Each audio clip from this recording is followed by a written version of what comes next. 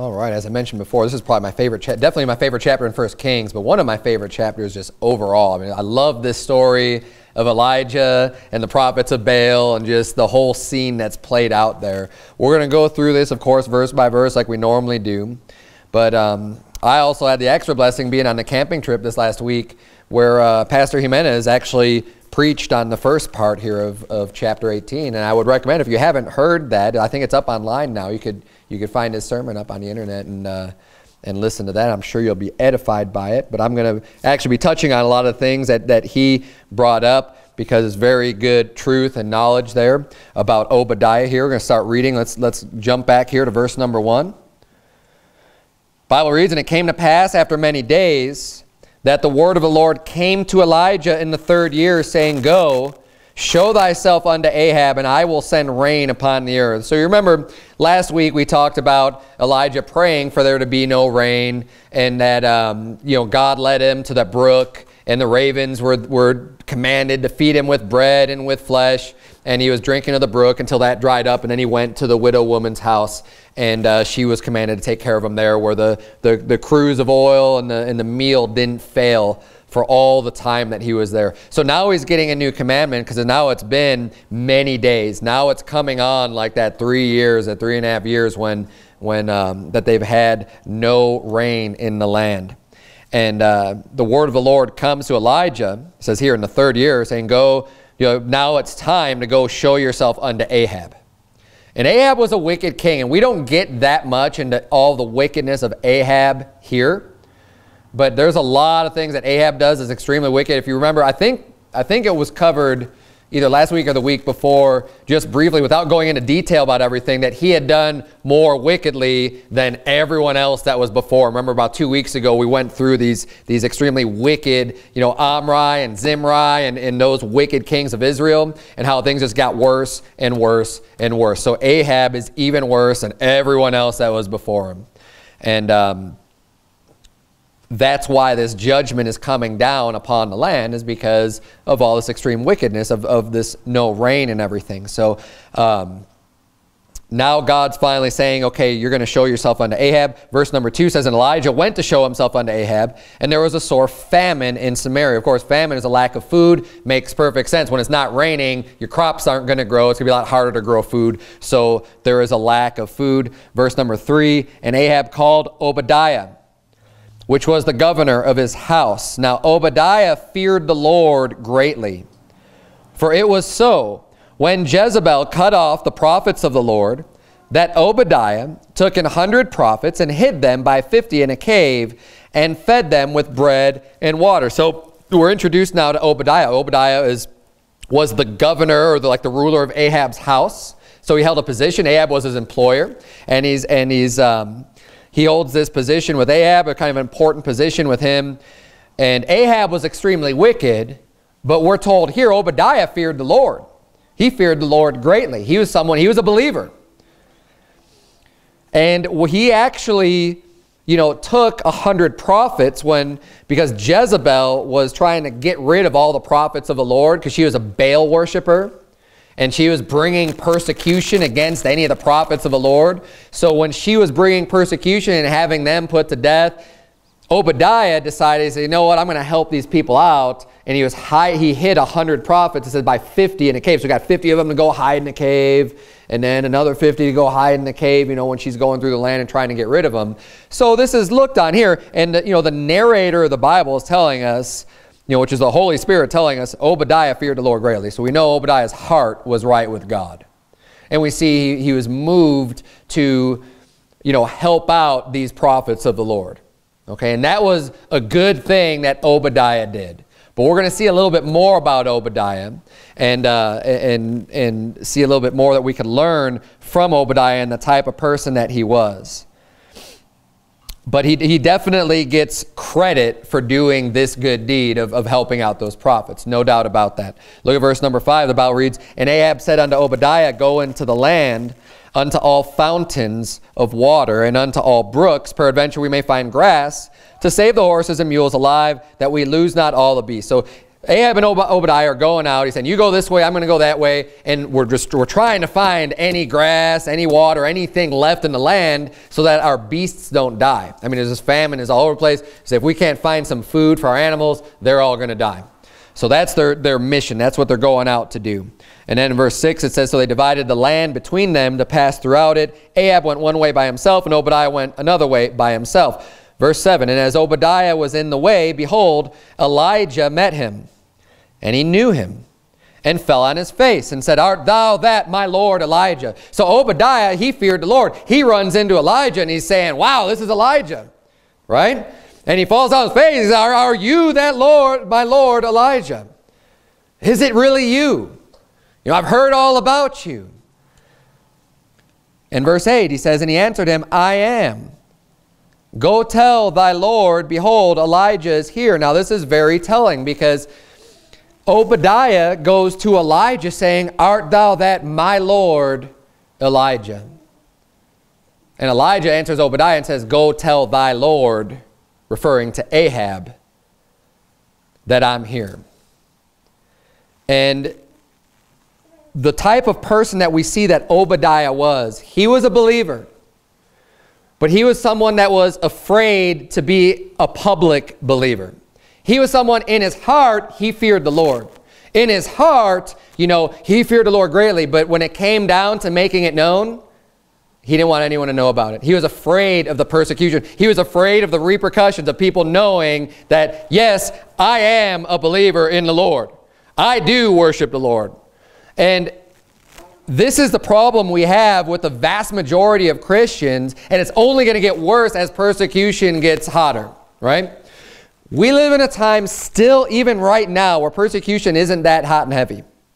Now, the worst persecution that people face as believers typically comes from their own family members or friends, people that you know in your life.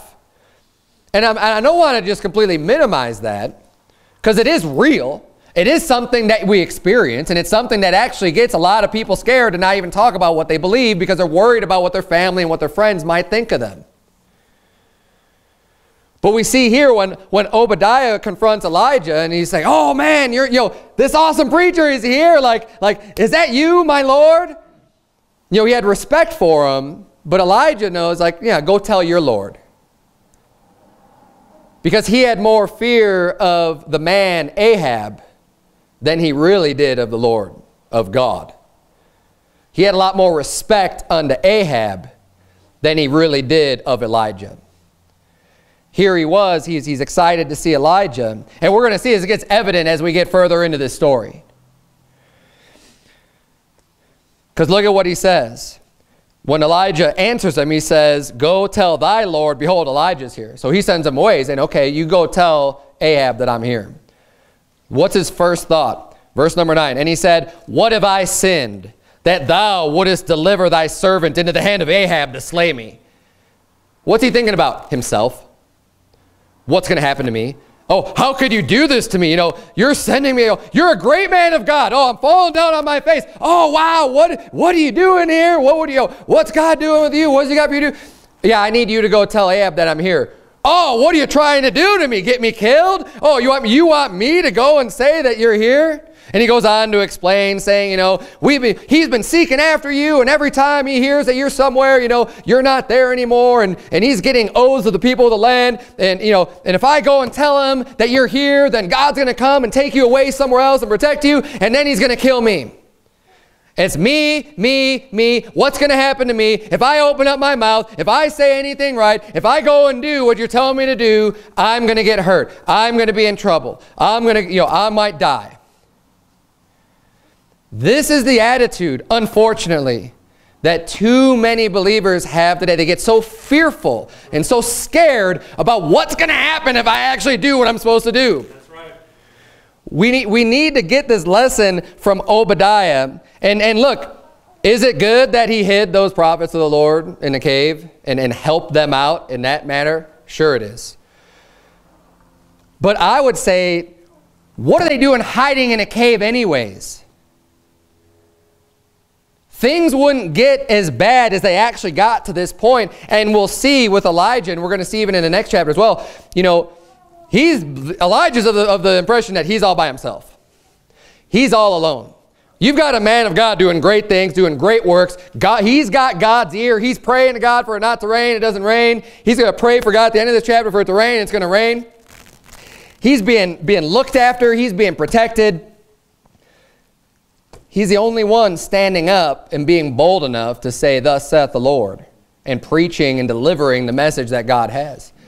We know there was at least a hundred other prophets. Yet he still says, there's just me here. Because you know why? It's not that he was the only believer. He was the only one standing up. Everyone else was going and hiding in a cave. Everyone else was going, oh man, I don't know. I mean, I don't want anything bad to happen to me if I preach the word of the Lord. Now, you could look at Obadiah and say, well, he, he had good reason to fear for his life. And there was serious persecution. Jezebel was going after and killing the prophets of the Lord, right? How much less persecution do you face, and yet you're still fearful to give someone the gospel. Just to explain that, hey, I'm a believer in Jesus Christ. Uh, just, just yesterday, we had Brother Joseph was, was, uh, had a great sermon for us in the preaching class where he talked about, it was this very thing about overcoming being fearful about giving the family, or giving the gospel to family and friends, people that you actually know. He, because he was explaining that, you know, and this is true, I believe this to be true.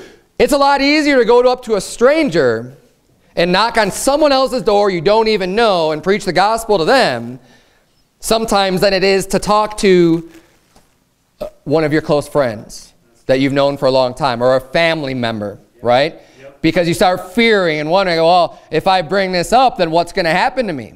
Right? What's going to happen to our relationship? What's going to, you know, what are they going to think of me? Oh, you know, he used this example, you know, maybe you have a friend you've known for 10, 20 years, someone you've known for a long, someone you grew up with, and they don't know what you believe. I mean, first of all, I would say shame on you for that. Yeah. They ought to know. Why are you hiding it? Why are you living a secret life? Why are you going to church yet nobody seems to know about it? No one has any clue that you're a believer in Jesus Christ. But secondly, you have this person and you start wondering and worrying and, and getting scared. Well, I don't know. I mean, maybe they won't want to be my friend anymore. And you start having all these doubts pop up in your mind. What's going to happen? Our relationship, my man, you might not be worried it's going to kill you like Obadiah was worried about, but you might be worried about it killing your relationship, killing your friendship.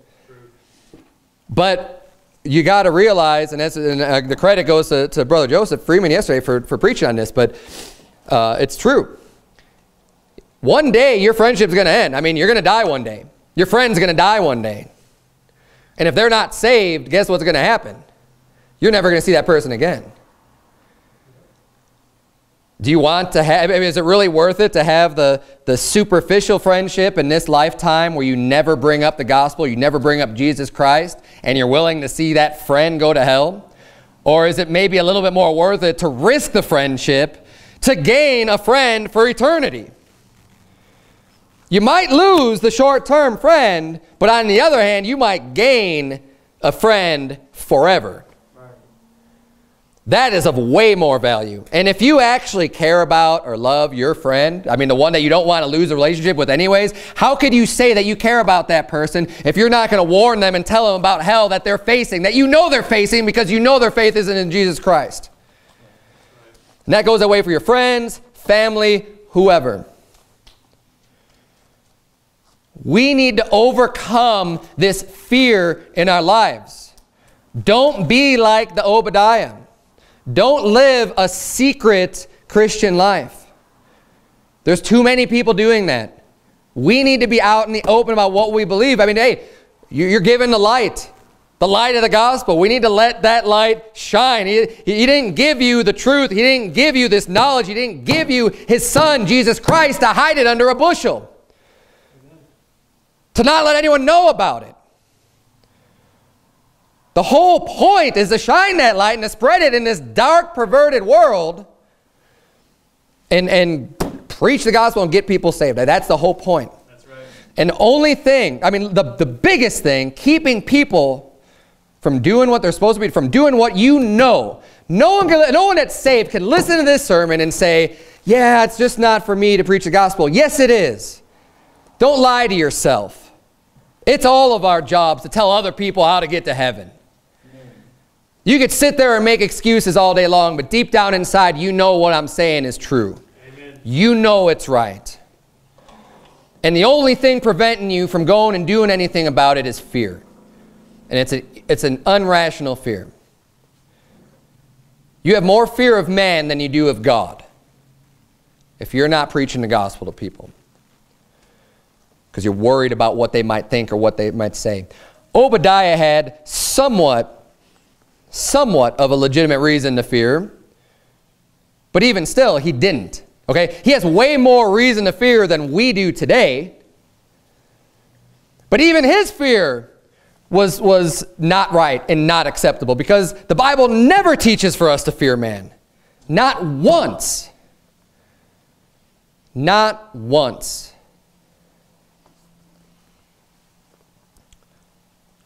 We need to have the faith, first of all, that God can protect us and God's going to sustain us and God's going to bless us. He took care of Elijah. I mean, we're seeing this is evident in the last chapter, this chapter, we're going to see the next chapter. God is looking over those people that are standing up and saying, here am I, send me. I'm here, Lord. I, am ready to be used of you, God. I, uh, I'm going to step up. I'm going to act in faith. I'm just going to preach your word, and I'm going to let the chips fall where they may, and I'm just going to stand on the truth. God can protect anyone he wants to. He protected Shadrach, Meshach, and Abednego when they, got, when they were faced with death. He protects Elijah. He, he kept him fed during the drought and the famine. He's keeping him safe even though he's, he's confronting Ahab. Even when he confronts you know, the ruler of the nation, the king, that has the power to just have that man executed. But see, the thing is, he doesn't have that power unless God allows him to have that power. Jesus Christ said, you'd have no power over me at all. Remember when Herod, he's confronted with Herod, Herod said, don't you know that I, I could set you free? Or I could have you condemned? you would have no power at all except it were given you from my Father above. That is where we need to have the fear, in where the true power comes from. Right. If you are walking in his steps, man, what do you got to fear? Definitely not man.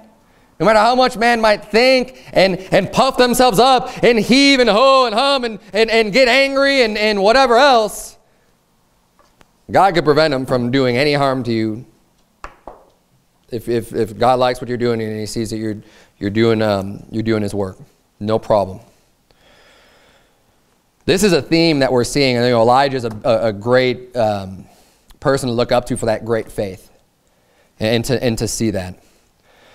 So we see Obadiah. Let's get back into 1 Kings 18. We see Obadiah fearful. He's saying, oh, well, what about me? What have I sinned? What, what are you asking me to do? You're asking me to go and, and he's going to kill me because you're not going to be here. We don't, we don't need that attitude. Let's not have that attitude that Obadiah had. And don't rely on your, on your, your past, uh, you know, things you've done in the past that have been good. Maybe you've done something great for God in the past. You can't ride on that your whole life. We need to keep doing right every day. Obadiah is saying, and we'll see that here in a minute. Say, you know, but but but didn't you know how how I helped you and I helped these prophets out and I did this good deed? Look, you did that however long ago. Okay? Right now, you need to go tell Ahab that I'm here. Look at what he says here in verse number uh, 10. As the Lord thy God liveth, there is no nation or kingdom whither my Lord hath not sent to seek thee. And when they said he is not there, he took an oath of the kingdom and nation that they found thee not. And now thou sayest, Go tell thy Lord, behold, Elijah is here. And it shall come to pass as soon as I am gone from thee, that the Spirit of the Lord shall carry thee whither I know not. And so when I come and tell Ahab, and he cannot find thee, he shall slay me. But I, thy servant, fear the Lord from my youth. So see, he's saying, in the same breath, he's saying that, look, you're going to be taken away, and, that you're, and I'm going to be, I'm going to be killed, but I fear God. Do you really? Verse 13, was it not told my Lord what I did when Jezebel slew the prophets of the Lord? How I hid an hundred men of the Lord's prophets by fifty in a cave and fed them with bread and water. We were told the same exact story previously by the narrator of the Bible, so we know that he's not lying here. He actually did it, right? Because we, if all we had was his statement, we wouldn't necessarily know. I mean, he could have been lying to Elijah, but we know he wasn't. I mean, it's told us, it's, it's verified. He did do this. But like, this is what he's relying on to, to show his faith and to say, oh, didn't I do this? In verse 14, now thou sayest, go tell thy Lord, behold, Elijah is here, and he shall slay me. And Elijah said, As the Lord of hosts liveth before whom I stand, I will surely show myself unto him today. So Obadiah went to meet Ahab and told him, and Ahab went to meet Elijah. So now he sets up this meeting. He find, that's finally enough for him to say, fine, I'll go and do this. And thankfully, Obadiah did finally go back, go and, and tell him. But, you know, we need to make sure we don't have this attitude. We're worried about what's going to happen to me if I go here. You know, a lot of people get worried. I've, I've had people comment, even family members, saying, you brought your family, and you know, go soul winning in South Phoenix, where it's like, you know, not the nicest area. You have a lot of crime and gang activity and things like that. You went over there. Like, yeah, I went over there. You think I'm worried about what man's going to do me? And actually, to be completely honest with you, when I go into those neighborhoods, I'm usually treated much better than I am going into the nice, safe, gated communities. They're a lot more willing to get me picked up and tossed out of that gate when I go into those nice areas where I don't have to worry about crime than when I go into the ghettos, where, yeah, you might have some gangbangers hanging around on the corner, and they're strapped, and maybe they're dealing drugs. But when I walk around in that neighborhood, I'm a lot more likely to be invited in the house and given a drink of water. Because the people are a lot more humble. People are willing to listen. And even, even some of those, the, the thug-looking guys, I, I, I'll talk to the thugs. Because you know what? Even a lot of them listen. And if you want anything to change, if you expect anything to change, if you don't like the situation that there's all this crime, what are you going to do? Hide your head in the sand or are you going to go out there and bring them the truth? How do you expect them to change their life if they don't have Christ? Bring them the gospel. It's the only way anything good's ever going to come. Sit still. What verse are we in here? Verse number 17. So we've got this meeting. Sarah, sit still. We've got this meeting between, Obad or between Ahab now and Elijah. Obadiah went his way, and he's, and he's um, bringing Ahab to meet him. Look at verse 17. And it came to pass, when Ahab saw Elijah, that Ahab said unto him, Art thou he that troubleth Israel?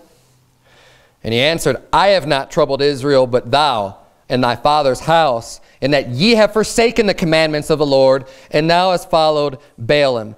Ahab knew that Elijah prayed and that it wouldn't rain. He was told that. So he's putting all the blame on Elijah. And this is the way that people like to, when you're in sin, this is the most common answer, or not the most common answer, the most common response uh, to, uh, to being confronted with your sin, right? Oh, it's all, it's everyone else's fault. Right? Oh, this is your fault. Oh, everything that's happening in life, this is because of you. No, Ahab, it's because of you and your sin. This is actually, this is actually the repercussion of you not obeying the Lord. You know, don't get angry at the, at the man of God that's telling you, hey, this is what's going to happen. Hey, here's the judgment. Hey, this is what's going to happen in your life. And then it comes to pass as if like they made it happen.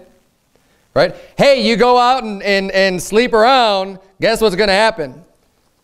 You know, you're going to get a disease. You're going to lose your, your, your family, whatever. You know, God's going to come down on you and you're going to, you might lose your job. And then something like that actually happens and comes to pass. They'll be like, well, you made it happen. Why did you say those things? I didn't make it happen. You're the one that got into sin. You're the one that brought it on yourself. And this is the attitude that Ahab has. He's saying, you know, it's all your fault. Elijah answers, no, it's not my fault. That prayer wouldn't have even happened if you were doing what's right, if you weren't more wicked than every other king that was before you, if you're actually decided to lead this people in the way of the Lord instead of the way of your own wicked heart and following some devils. Verse number 19, Now therefore send and gather to me all Israel unto Mount Carmel. I love, look at, look at the boldness of Elijah. He's speaking to the king. And the king says, you know, is it you? Are you the one that's troubling Israel? Right? He's angry with them. And Elijah's saying, it ain't me, it's you. You're the problem, buddy. And now I want you, go gather Israel. He's commanding the king and tell him, you go gather all Israel. You bring them over here. And the prophets of Baal, 450, and the prophets of the groves, 400, which eat at Jezebel's table, his wife. Say, go gather all these people together. So Ahab sent, look at Ahab listens. That you're bold, you're following in God's word, you're speaking the word of the Lord, you got that boldness, you know what's going to happen sometimes? You don't need to be fearing this Ahab, he'll listen to you. This is what happened in the story. Ahab's told what to do, and he listened. So Ahab sent unto all the children of Israel and gathered the prophets together unto Mount Carmel. And Elijah came unto all the people and said, How long halt ye between two opinions? If the Lord be God, follow him. But if Baal, then follow him. And the people answered him not a word. And again, this is another problem that we have in Christianity by and large today. People halting between two opinions. Sarah, sit still. People halting between two opinions. Not wanting to publicly profess what they believe. There was a lot of false prophets out there. There's a lot of these prophets of Baal.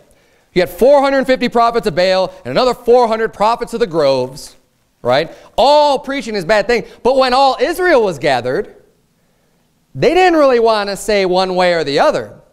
Because in their hearts, you knew a lot of them, they're not believing these false prophets. They're not necessarily Baal worshippers, but they're also not standing up for the Lord.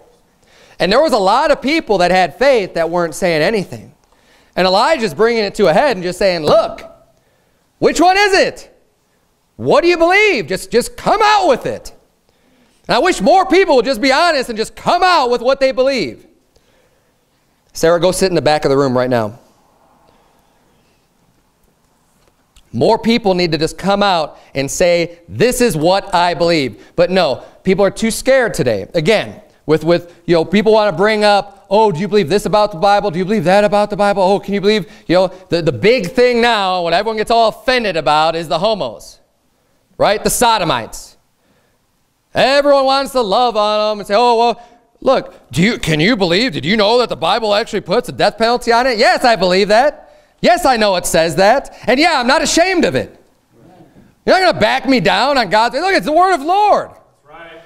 Just as much as the Bible says, you know, that uh, for God so loved the world that he gave his only begotten son, that whosoever believeth him should not perish but have everlasting life. Yeah, all the Christians want to jump up and down about that and proclaim that and say, I love that. This is the truth. I'm going to stand on that till the day I die. Well, are you going to stand on the rest of the Bible too? And not get ashamed and not get offended and not, not try to make excuses for what the Bible says when God's calling out wickedness and he's calling out evil and he's saying, look, this is the way you're supposed to properly deal with these things? That the rapist needs to be put to death? That the homo needs to be put to death? That the kidnapper needs to be put to death? Look, God's serious about this stuff.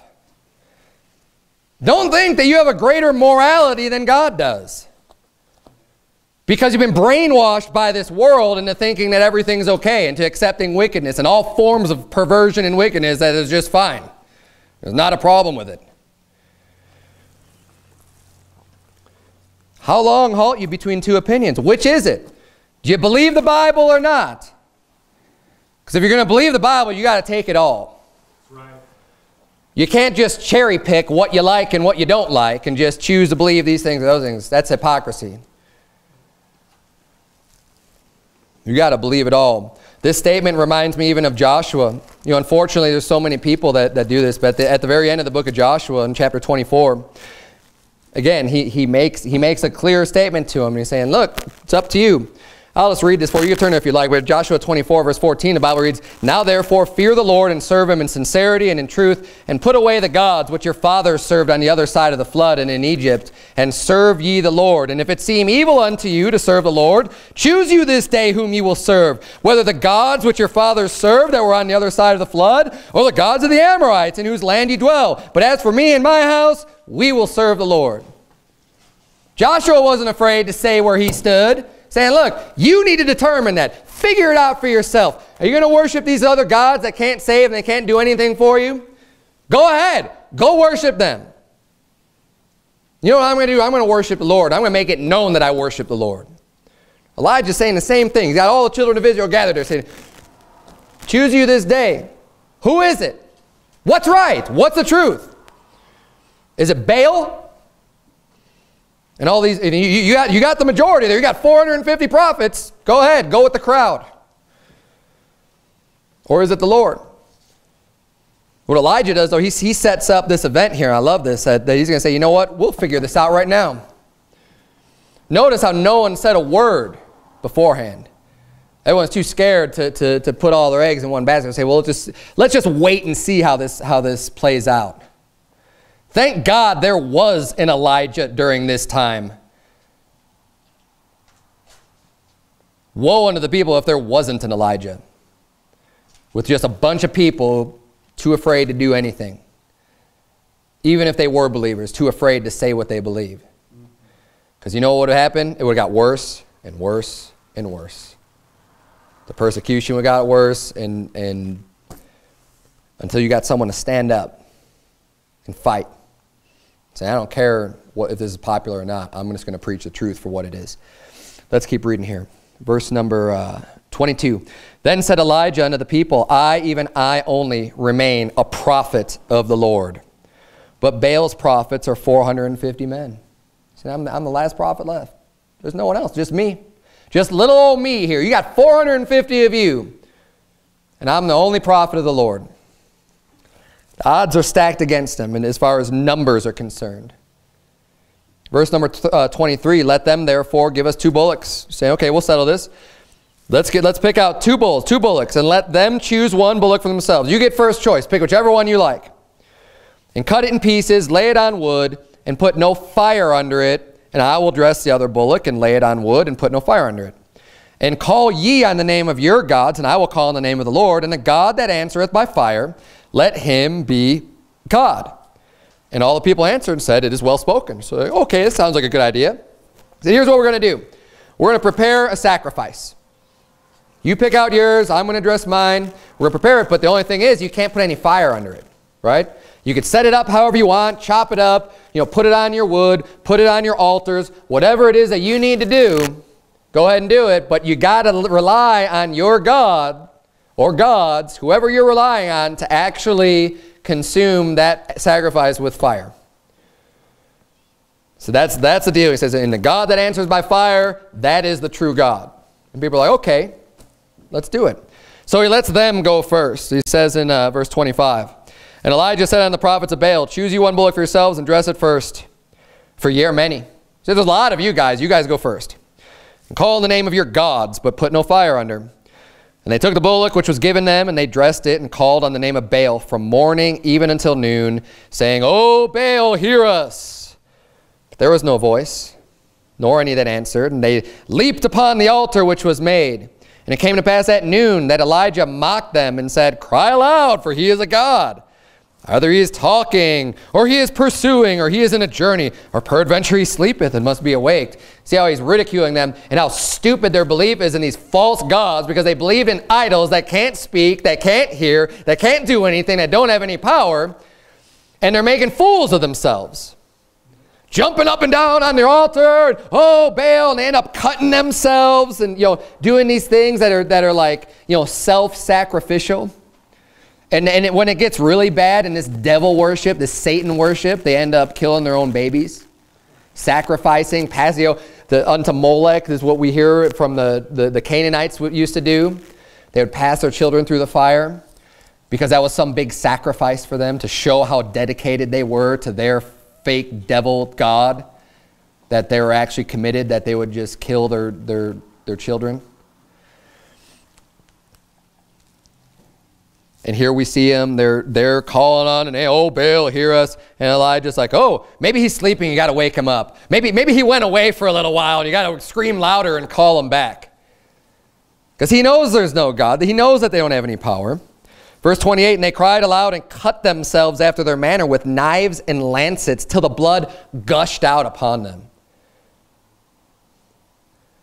You know when people are just cutting themselves and making all this blood gush out? That is not of God. That is a satanic religion. Okay? That is of the devil to be, to be destroying yourself like that and, and causing all the, you know, inflicting all this stuff upon yourself. That doesn't make you any more spiritual or holy. It's actually just of Satan. Let's keep reading. It came to pass when midday was past, And they prophesied until the time of the offering of the evening sacrifice that there was neither voice nor any to answer, nor any that regarded. No surprise, right? So they're there. He lets them go from morning all the way until evening. Do whatever, you know, jump up and down, do whatever it is you need to do. Nothing happens. Nothing. They're preaching, they're prophesying, they're doing all this stuff, nothing happens. So now Elijah realizes it's his turn, verse 30, and Elijah said unto all the people, Come near unto me. Come on, gather around here. And all the people came near unto him. And he repaired the altar of the Lord that was broken down. The altar of the Lord was in disarray. It was broken down because of all the, the persecution and, and getting rid of the Lord. And he says, we're going we're gonna restore this. We're going to bring things back the way they ought to be. Verse 31, And Elijah took 12 stones according to the number of the tribes of the sons of Jacob, unto whom the word of the Lord came, saying, Israel shall be thy name. And with the stones he built an altar in the name of the Lord. And he made a trench about the altar as great as would contain two measures of seed. And he put the wood in order and cut the bullock in pieces and laid him on the wood and said, Fill four barrels with water and pour it on the burnt sacrifice and on the wood. Now he's proving a point. Not only is the Lord going to answer by fire, he's going to answer by fire on a sacrifice that is completely drenched with water.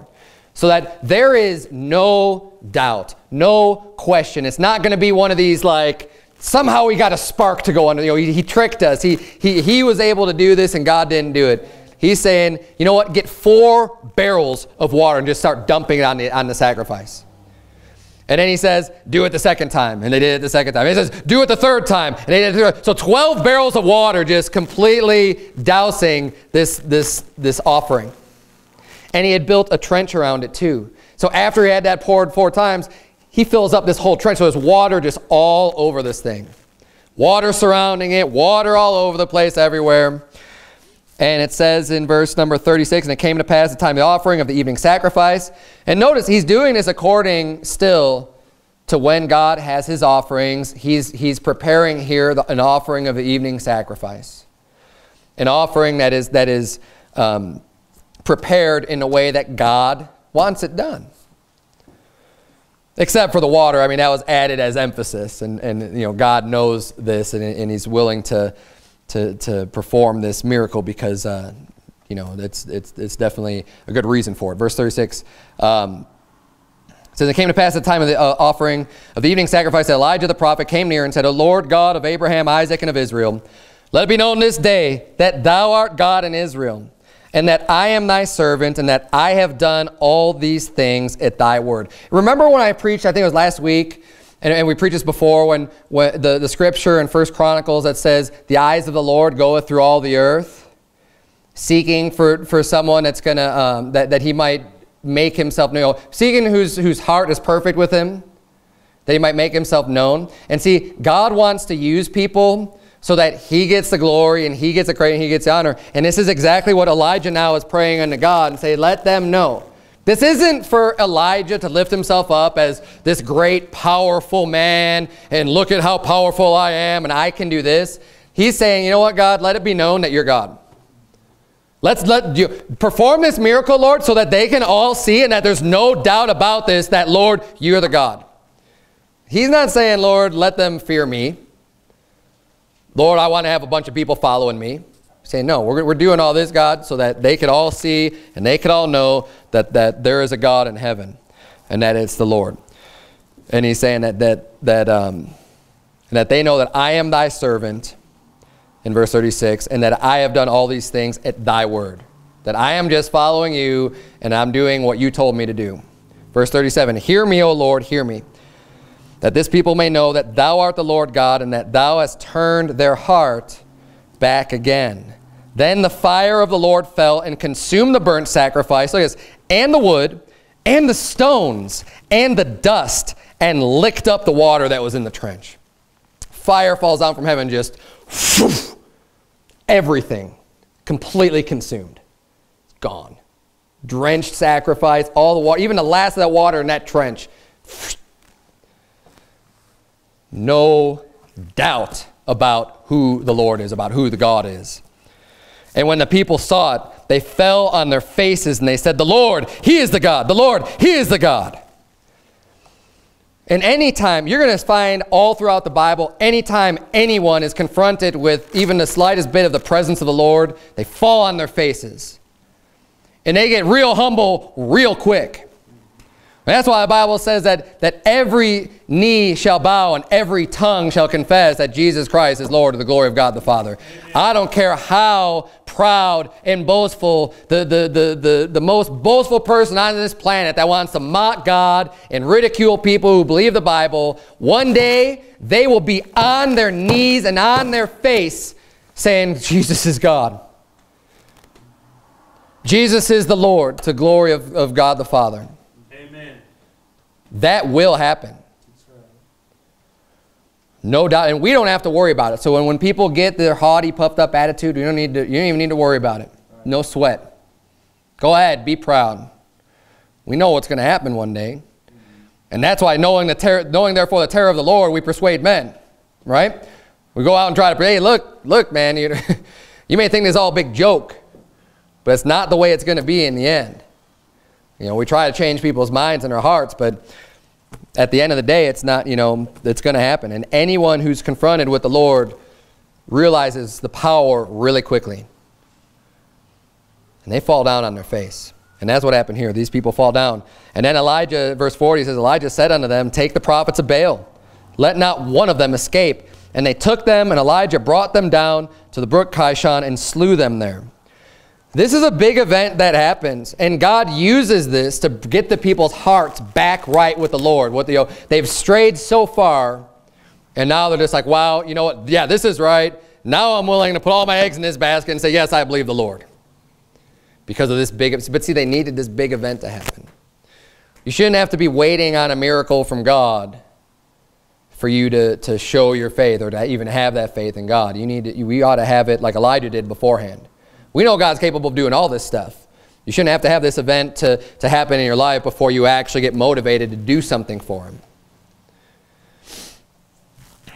But I think it's interesting here too, and, and you see this throughout the Bible, when you have men of God, you know, don't be deceived by the way the world's going to try to tell you a man of God should be and what they should be like.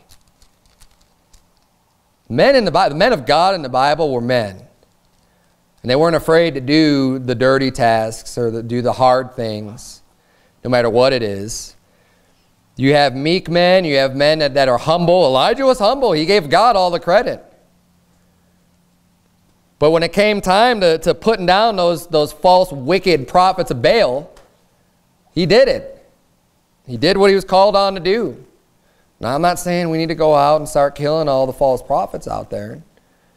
But just get it through your head that Samuel, Elijah, these are men of God that did what needed to be done according to the Lord during their time. You know, that, that this, is, this is what needed to be done. They weren't just some limp-wristed, you know, faggy-sounding, you know, guy that's, that's just love everybody all the time no matter what. They cared about people. They loved people. Elijah cared about people. He cared about the Lord more than anything. But I mean, you go, you go through the Bible, look at all the examples. I preach an entire sermon on that. You look at John the Baptist, you look at these men, men of God. They weren't wimps. They all had boldness to, to call out sin and, and to call like they saw it no matter who they were talking to, whether it be a king or governor or, or any random person, Pharisee, whoever. They're willing to say, this is what God says, this is what the Bible says. And sometimes there's not a nice way of putting things. It's not a nice way to tell someone that they're going to hell. There really isn't. Just, just, but it has to be said. It's not a nice way of saying, look, adultery is a wicked sin. And you ought not to be doing that because the Bible says so. Don't get fooled into people thinking like, oh, you're so judgmental. Look, it's what God said. It's what the Bible says. Now, it doesn't mean you nitpick every single thing that every person does that's wrong, every every slight infraction, but I mean, we're talking about some big things here. You don't, you know, you don't, you don't need to, to worry about what other people are going to say. We do what's right. Look, verse number 41. Finish up here. And Elijah said unto Ahab, Get thee up, eat and drink, for there is a sound of abundance of rain. So Ahab went up to eat and to drink.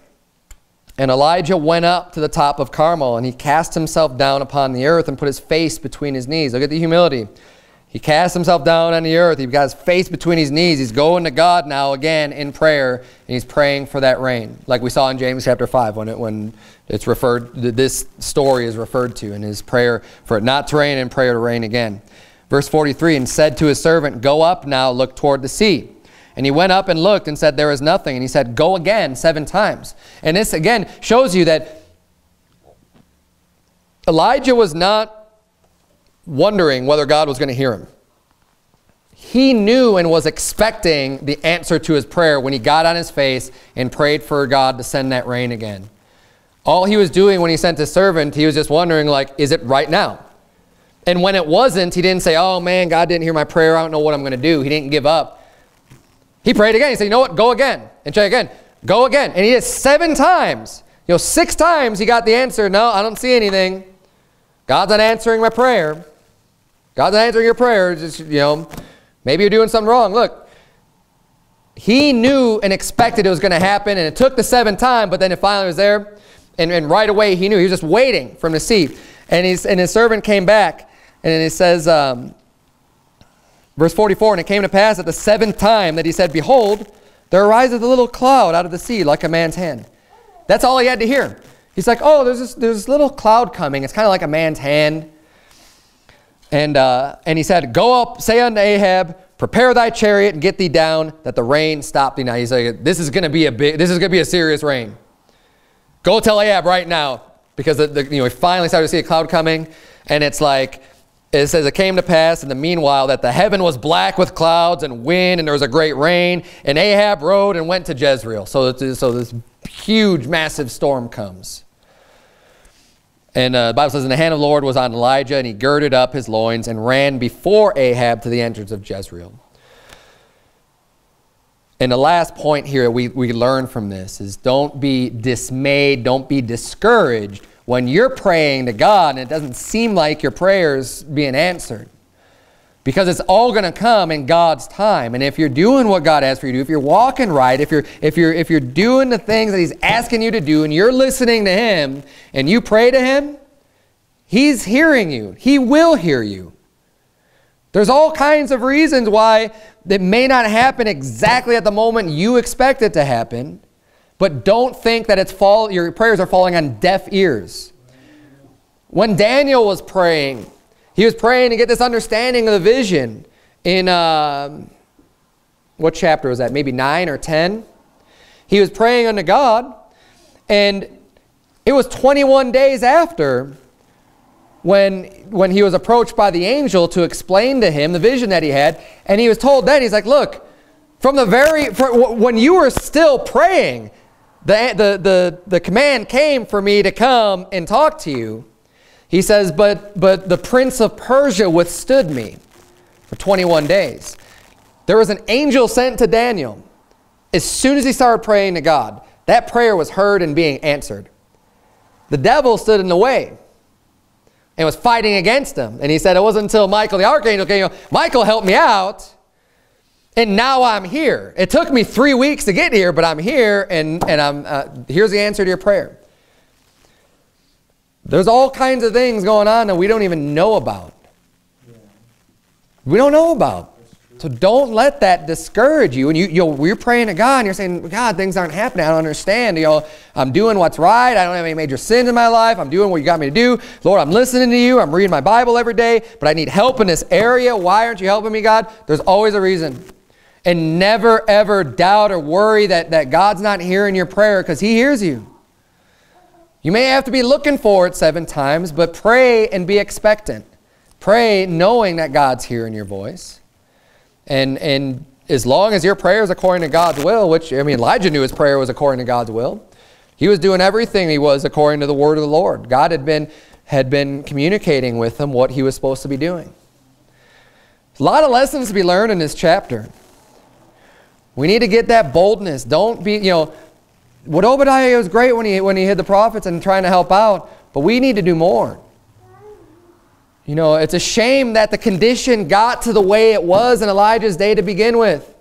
That nobody was standing up. Why would you not say what you believe unless you're embarrassed or ashamed of it? Ultimately, what, what, what else, what other reason really is there? You're worried about something that might happen, something bad that might happen to you as a result of your belief? Well, if your belief is in the Lord, that you, we already show, I already showed you that that's, that's kind of a silly you know, way of looking at it. We, we need to be more concerned with what, how God thinks than what man thinks and, and have that faith. And we have no reason to be scared of even if the prophets of Baal are 450, even if you're talking to a king, it doesn't matter. We need more Elijahs. We need that spirit of Elijah in our church and in all, all the Bible-believing churches across this country and across the world. Imagine what could be done with that spirit. Let's bow our eyes and have a word of prayer. Dear Heavenly Father, Lord, we thank you so much for these great stories in the Bible, dear Lord. Help us to realize and understand that even though this is something that happened in the past, dear God, that you don't change.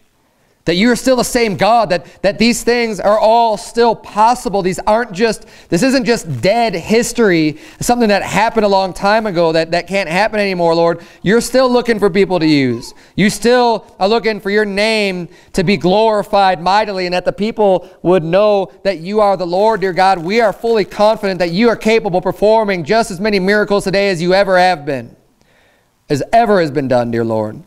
We know that you're able to do that, Lord. Use us to bring glory and honor unto your name. God, help us to be that great shining light and example to preach the word of the Lord, to preach the gospel unto the lost, dear God. Help us never to waver or to falter or to back down or to, or to sidestep what, what you have for us to do, dear God. Help us to remain strong and vigilant. God, build this church. Lead people here that have the same heart and the same mind, dear Lord, and, uh, and just encourage us and stir up our to do what's right. It's in Jesus' name we pray. Amen.